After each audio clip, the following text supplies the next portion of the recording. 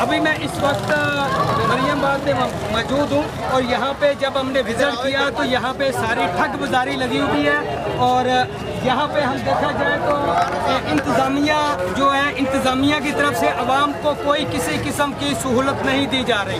جب ہم پیچھے ایک گلی کے اندر گئے، وہاں پہ جو میڈیکل کیمپ لگا ہوا ہے، وہاں پہ بھی فیس لی جاتی ہے۔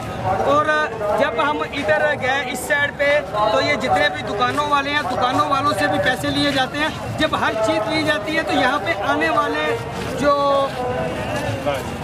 جو آنے والے لوگ ہیں، ان کو بھی سہولیات ملنی چاہیے۔ اور اس طریقے سے جب ہم نے ادھر سے لوگوں سے پوچھا، ادھر سے لوگوں سے پوچھا، کسی کسی آدمی کو، کسی قسم کی سہولت یہاں پہ نہیں مل رہی۔ یہاں پہ لوگ بیمار ہو رہے ہیں۔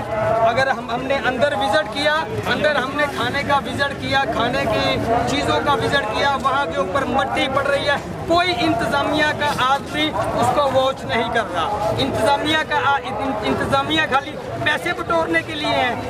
اور یہاں پہ لوگ دور دراز سے آتے ہیں، کراچی سے کوئی پیدل چل کے آ رہا ہے، کوئی سائیکل پہ آ رہا ہے، کوئی کس طریقے سے آ رہا ہے، کسی کو کسی قسم کی سہولت نہیں مل رہی۔